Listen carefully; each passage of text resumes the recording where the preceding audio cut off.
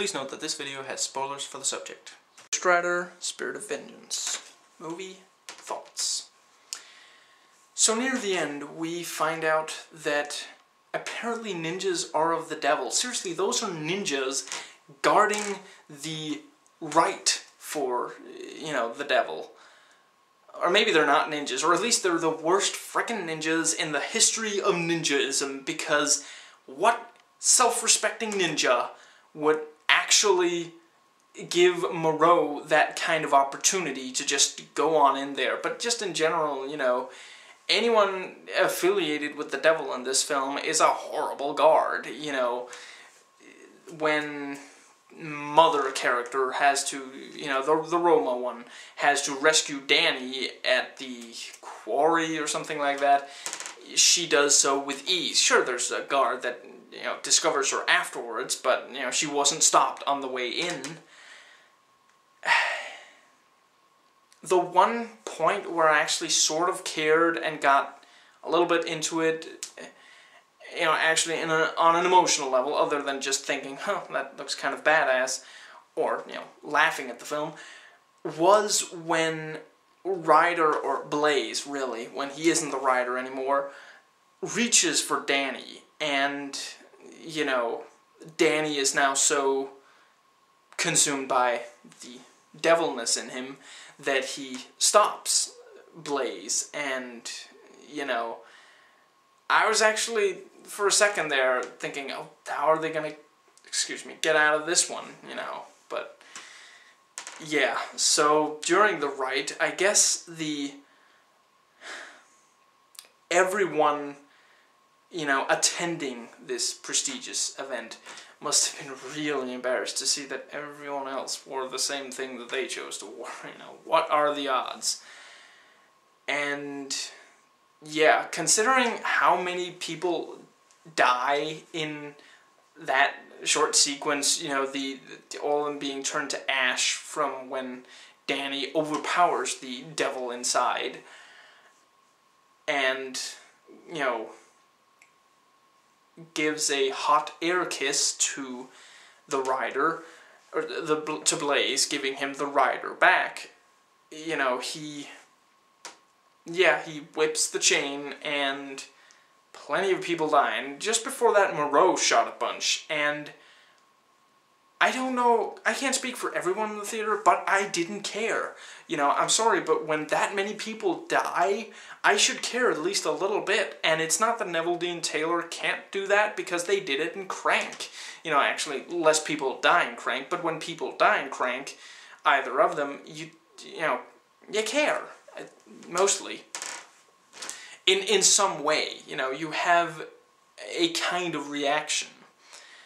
This film actually managed to explain better than the first film the like powers and just the the basic way the rider works, but like in the first one, it's just in these awkward exposition dumps of, you know, one character explains it to another and yeah, you know, but at least they used the ability to transform a vehicle, you know, by the rider's touch decently enough, you know. And one fight that sort of got you engaged was between the transformed Carrigan and the rider there near the end, on top of cars excuse me, and, you know, the decaying of the glass. My girlfriend and I debated if, you know, you know, that was really possible, if what he was doing was rotting stuff, and if glass rots, and I came to the conclusion that I don't care because it looked kind of cool. And yeah, it, it worked for me. But yeah, you know, that fight was actually not too bad, but then it just ended, you know, way too fast. I'll talk more about the rotting Carrigan. The devil barely did anything in this movie. I guess it's that whole thing of, you know, oh, he, like, he's, you know, worn out this body and yeah, I guess he missed some beauty sleep or something. I don't know. It. I get that he was going to be more powerful if he got the boy. That you know there was. I, I'm not entirely sure. I understand why. Was like.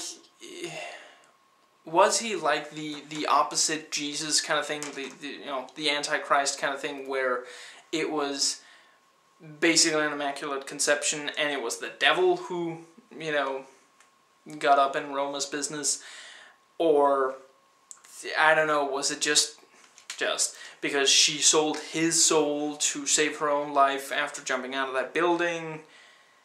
I don't know. I anyway. So yeah you know he barely did anything. You know he almost didn't need to be in the movie or at least not for you know not until like near the end when you know Ciarán did one of what must be one of the most embarrassing embarrassing things of his career. You know, one thing is seeing this thirteen-year-old kid, uh, you know,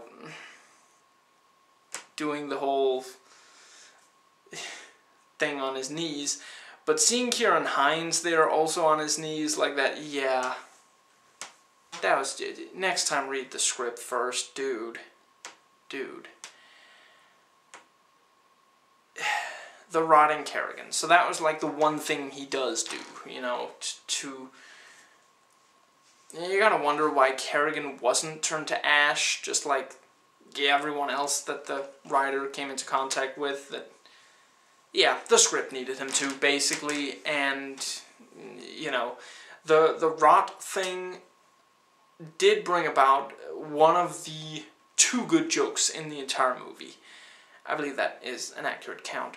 The Twinkie joke, which wasn't too bad. It, the execution could have been better, but the material was there, certainly.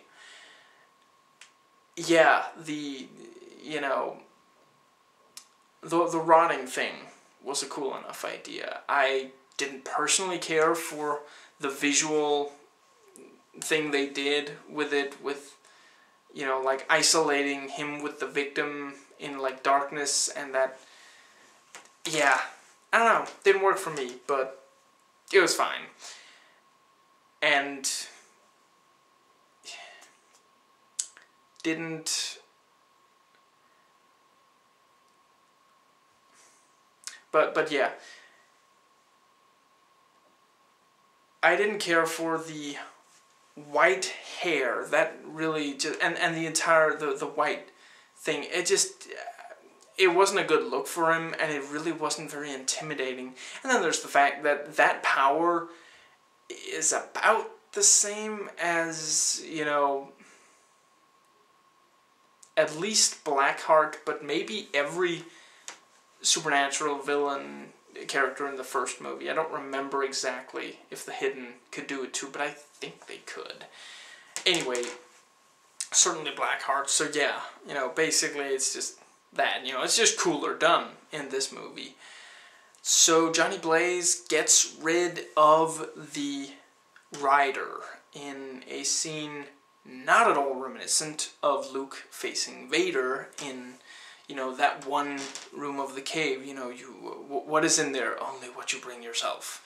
You know, so yeah. And in you know, in what can only be described as great luck, it evidently takes only a couple of minutes because, you know, right after he leaves, they're still only about to cut the head off Danny. You know, personally, I'd put that on the top list of my priorities if I knew he might be the devil. But yeah, it it took them long enough. You know, they you know Blaze have has time for wine and you know an exorcism, I guess.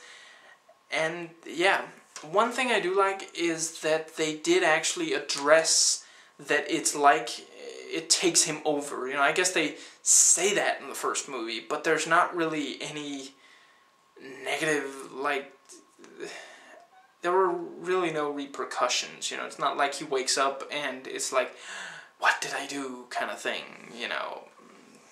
In this one, plays out not unlike The Mask or something, you know. It's like, was that really me, and can I control this, and that whole thing. And I sort of liked the thing about, you know, it could attack anyone because there's evil in all of us. But then they had to go and do the really hokey thing of lighting out on the audience and, you know, basically, you know, say, you better be watching this movie, you know, in a theater and, you know, you better not have downloaded any movies, including this one, anytime recently. Yeah, that was just... If they had at least done it with the flames, it might have slightly worked, but they did it with, like, lantern light, like, interrogation lamp kind of thing. That really, that was just stupid.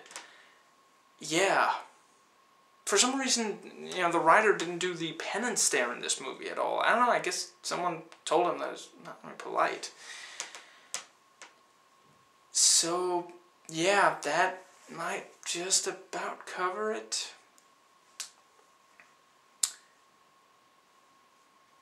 I thought that the, you know, I'm not much into motorcycles, and in this movie, I thought it was more tolerable when they showed off the bike than in the first movie.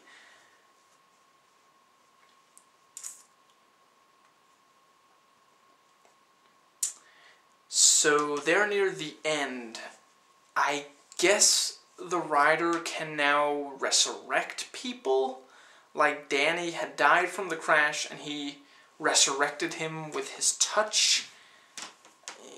You know, he's already invincible and thus a pretty dull character. You're really sure you want to add more superpowers? And then there's that whole thing about how by the end of the film, they're like, ooh, one big happy family, sort of, I guess, or at least it's it's possible that that's what will, you know, happen. The